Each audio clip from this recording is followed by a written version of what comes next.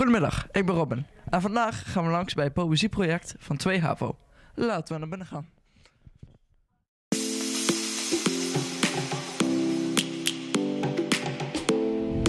Nou, waar zijn jullie eigenlijk mee bezig? En wij zijn bezig met een poëzieproject voor Nederland. Daarbij hebben we een gedicht gemaakt en dat gaan we nu uitwerken in een dramavorm. En vind je dat leuk om te doen? En nou, als eerst vond ik het niet zo leuk, want ik ben niet echt van de poëzie en zo.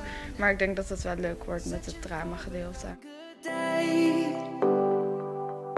People feeling like the light has just come. We must never stop the way. Yeah.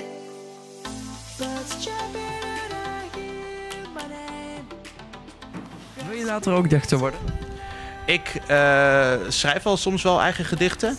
En dat doe, voer ik ook soms op. En dat vind ik altijd wel eh, leuk om te doen, inderdaad. Maar om echt later dichter te worden, dat weet ik nog niet. En doe je thuis ook vaak dichten? Nou, soms heb ik wel iets, eh, als er iets in mijn leven gebeurt of iets met mijn familie of zo, iets ergs, dan vind ik het wel, dan helpt dat om eh, het te verwerken, ja.